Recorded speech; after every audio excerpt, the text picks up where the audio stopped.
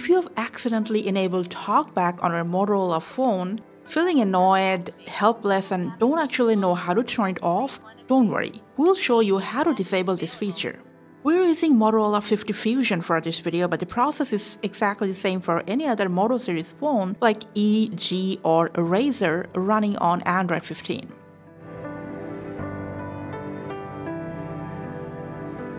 So when your phone is on TalkBack, you gotta swipe with two fingers, one tap to highlight an option, and double tap to select or enter.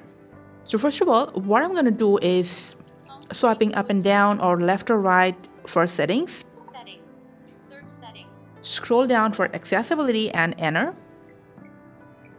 Accessibility. Navigate. Accessibility. Enter TalkBack. Tap on Use TalkBack function which is enabled. Double tap to activate. And then with the same finger gesture, simply stop TalkBack option.